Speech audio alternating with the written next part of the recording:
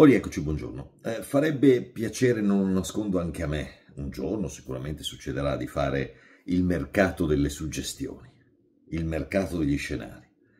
Tutto fatto, tutto fatto, tutto fatto, tutto fatto, succederà questo, succederà quest'altro e poi arriva Gianluca Di Marzio che ti scrive, sì, servirà un ultimo incontro mercoledì. Ah, allora servirà un ultimo incontro. Eh, cioè, ehm, perché poi il calciomercato eh, noi siamo abituati a considerarlo la fiera dei sogni, delle illusioni, la bolla estiva, ma è un fatto eh, legato ai fatti. Quindi quello che dico sempre, eh, ad esempio qui stiamo parlando di Morata evidentemente, quello che dico sempre è finché si dice un passo, un passo, un passo praticamente fatto, praticamente fatto, no, o è fatto o non è fatto. Quindi eh, avevamo iniziato la scorsa settimana a leggere, perché io leggo come voi, eh?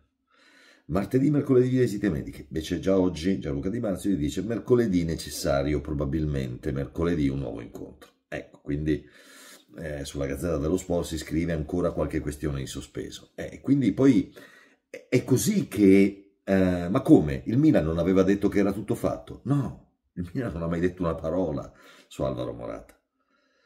E quindi poi il calcio diventa tutto questo palleggio di, di, di situazioni, di sensazioni, di, di, cose dette, di cose non dette, ma deve essere soprattutto un fatto di cose fatte. Vedremo, vedremo quello che accadrà questa settimana che ci auguriamo possa essere importante. Mi sono piaciute molto le immagini dell'allenamento di Mister Fonseca e di Sammy Ciuqueze. Sammy Ciuqueze con l'elastico trattenuto da dietro dal Mister.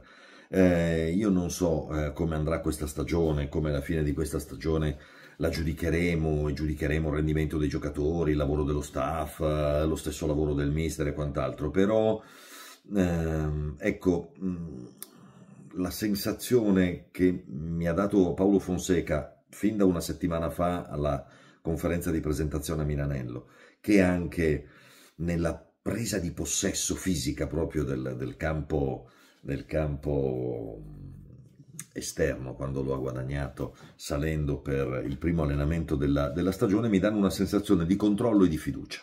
Poi sono sensazioni, le sensazioni non devono essere illusioni, le sensazioni sono sensazioni, poi vedrai, verificherai se erano sensazioni giuste o sbagliate. Il calcio è questo. In base alla tua esperienza no, noti alcune cose, si formano in te delle sensazioni e poi le devi mettere in discussione e sarà la stagione a dire se sono eh, di un segno, di un altro o di un altro ancora. Quella di oggi è una giornata che accomuna due ragazzi, due pupilli di Rino Gattuso, erano i suoi pupilli, Tommaso Pobega e Marco Brescianini. Se Rino Gattuso fosse rimasto nell'estate 2019, quando poi invece si è congedato dal club, lui voleva puntare molto su Tommaso Pobega e Marco Brescianini. Col senno del poi scopriamo che sarebbe stato un po' presto puntare fin dall'estate del 2019 su due ragazzi che avevano bisogno molto di, di, fare del, di, fare la loro maturazione. Per oggi Tommaso Pobega compie gli anni, tanti auguri Tommy, e Marco Brescianini sembra sul punto di lasciare il Frosinone per andare all'Atalanta, qualsiasi cosa accada, lo ricordiamo, nella, nella, nel, sul mercato per quanto riguarda Marco Brescianini, leggo sui siti che il 50% della rivendita di Marco Brescianini spetta al Milan e quindi mh, mm, potrebbe essere evidentemente un uh, surplus economico per il club, visto che mm, nelle scorse settimane parlavamo del possibile risparmio nel caso in cui Stefano Pioli fosse andato alla Litiad, così non è stato eh, e quindi diciamo che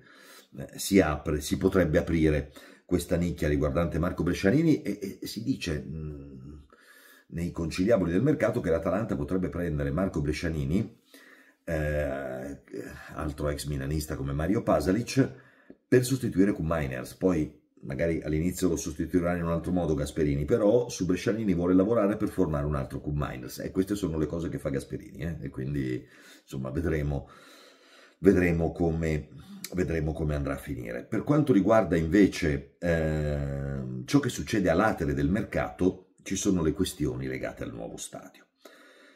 Eh, cosa c'entra il mercato col nuovo stadio? C'entra, è come se c'entra, perché con quel genere di strutture di potenziamento di proprietà e di ricavi che un club cresce di livello negli anni stabilmente sul mercato. Sono, ehm, il mercato si deve fare non con la giacca da tirare al proprietario, il mercato si deve fare con i soldi che ricava un club e per ricavare soldi un club deve investire, potenziarsi e strutturarsi, che è quello che sta facendo, che sta cercando di fare il Milan.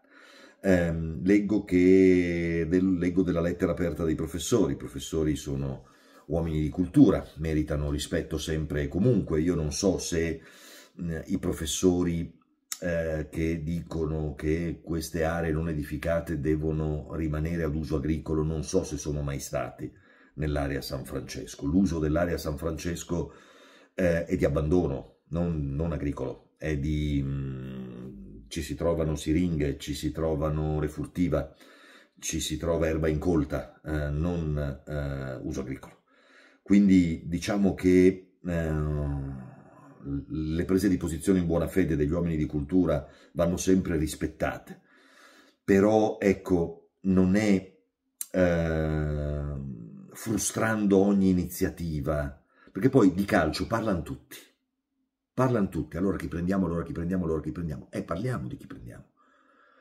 Con la lettera dei professori e con eh, il no al nuovo stadio del Milan, negli anni si prenderà a seconda di come, di, di come butta.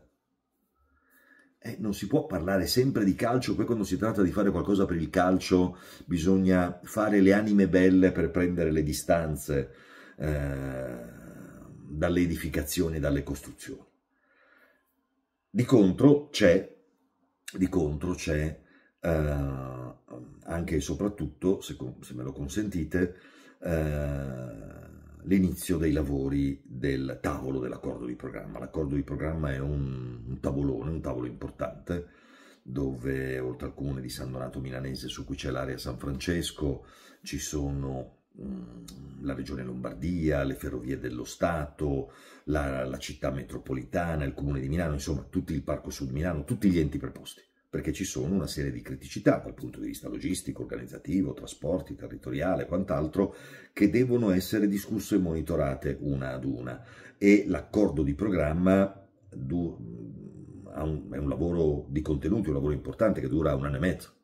Quindi dopo un anno e mezzo dovranno da oggi, da, da questo periodo, quindi parliamo, siamo nell'estate del 2024, parliamo di fine 2025, tutto dovrà essere stato esaminato, deciso e chiarito, perché un paese come il nostro, in cui eh, la quarta, quinta filiera industriale del paese, cioè il sistema calcio, ha bisogno di una legge secondo me emergenziale sugli stadi per non, per non morire, per non scendere definitivamente di livello, non può trasformare ehm, tutto quello che si vuole fare per intraprendere, per migliorare, per crescere eh, in, una, in una sorta di palude dell'indecisionismo. E quindi auguriamoci che a fine 2025 si possa arrivare ad un dunque. Ciao a tutti, a domani.